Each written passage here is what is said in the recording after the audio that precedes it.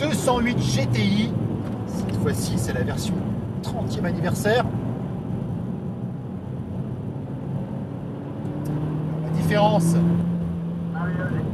elle a 208 chevaux contre 200. Surtout, ce qui se ressent, c'est le freinage. hein, là, il est nettement plus mordant. Les étriers Brembo, 4 pistons. Voilà. Le couple aussi passe de 275 à 300 Nm et ça se sent. hein. Le freinage nettement plus mordant.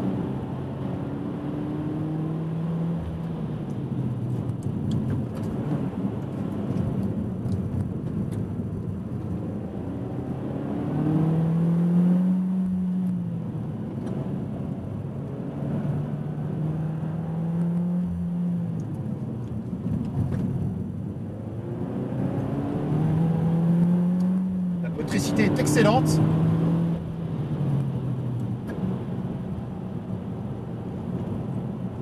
C'est large. L'échappement été aussi revu.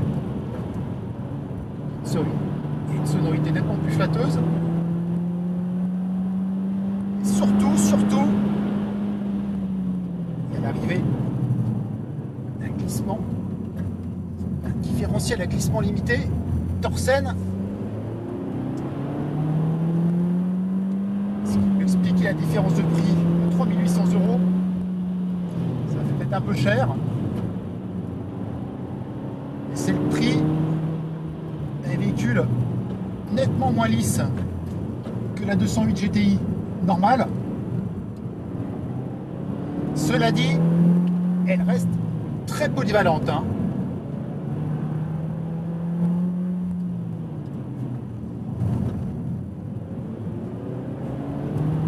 bien qu'elle est dans les sièges baquets, c'est pas du tout tape-cul. Ça reste très confort. On va presque dire chic et sportif. hein. Ce petit volant aussi, typique de la 208. Ça c'est vachement bien avec l'instrumentation placée très en haut. On va essayer.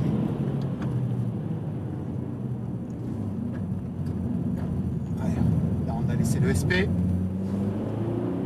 On va peut-être l'enlever. Si peu.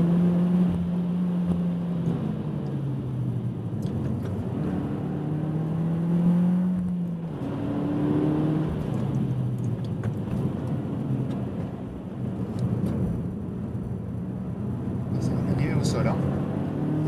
Elle est arrivée au sol.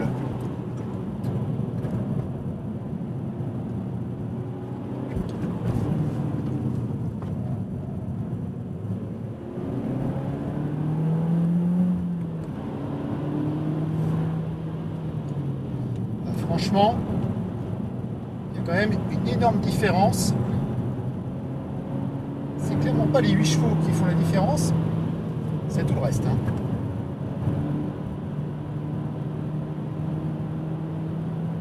Allez, hop.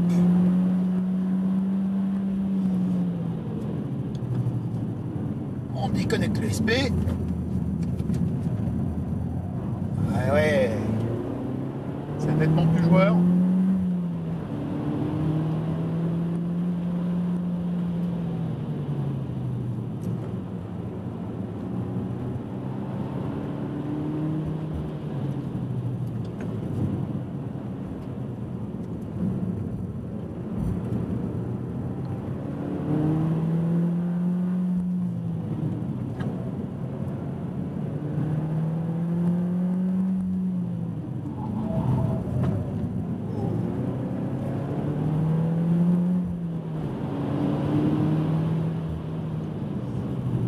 Et le freinage,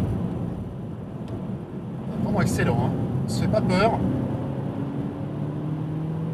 Ça reste malgré tout très civilisé.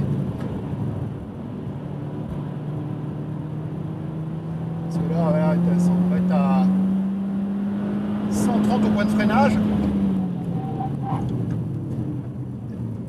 Un petit peu présomptueux. Ah, je tout.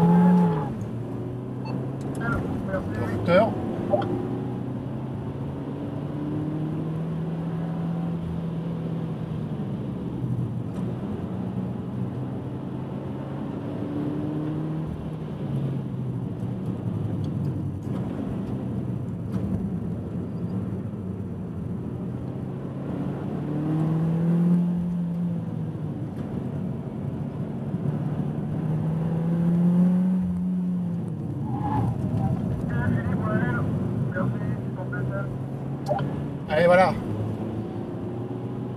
On va faire 5 tours ici sur le circuit de Dreux, à l'ouest de Paris, au long de cette 208 GTI 30e anniversaire. On rappelle que la 205 GTI est sortie en 1984, avec un moteur au début de 105 chevaux, puis 115, et enfin un 1,9 litre de 130 chevaux. On est sur un 1,6 litre de 208 chevaux.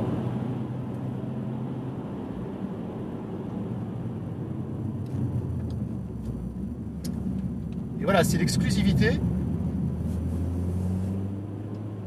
C'est aussi une part d'histoire. 30 ans d'une saga commencée en 84. Qui a fait le bonheur de toute une génération de, de pilotes et d'apprentis pilotes.